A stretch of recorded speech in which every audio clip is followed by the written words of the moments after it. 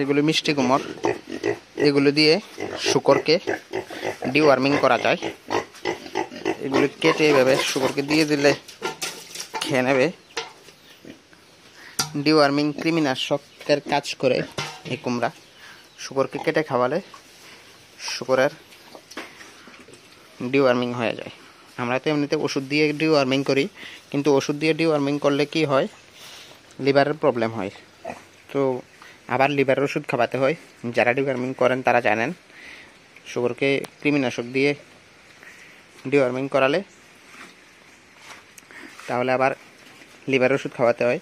কিন্তু ওইভাবে যদি বাজার থেকে কুমড়া এখন সিজন তো কুমড়া এখন রেট কম।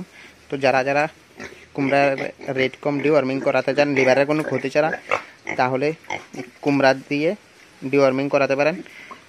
প্রাকৃতিকভাবে প্রাকৃতিকভাবে ডিওয়ার্মিং হয়ে যাবে। লিভারেরও কোনো ক্ষতি হবে না। লিভারের ওষুধও খাওয়াতে হবে না। ন্যাচারালি ডিওয়ার্মিং হয়ে যায় কুমড়া দিয়ে। তো যারা যারা শুকরকে ডিওয়ার্মিং করাতে চান, বিশেষত বাচ্চা শুকরকে ডিওয়ার্মিং কুমড়া দিয়ে করালে ভালো। লিভারের উপর কোনো প্রেশার পড়ে না। লিভারও ভালো থাকে গ্রোথও ভালো হয়। তো এইভাবে কুমড়া খাবিয়ে আপনারা ডিওয়ার্মিং করাতে পারেন। এরকম জানকারি পাওয়ার জন্য আমার চ্যানেলটাকে সাবস্ক্রাইব করে রাখুন ছোটো মোটো জানকারি ব্যাপারে আপনাদেরকে দিতে থাকব সাবস্ক্রাইব করে লাইক করে দেবেন আর কোনো দরকার হলে কমেন্ট করে দেবেন সব কিছু জানিয়ে দেবো।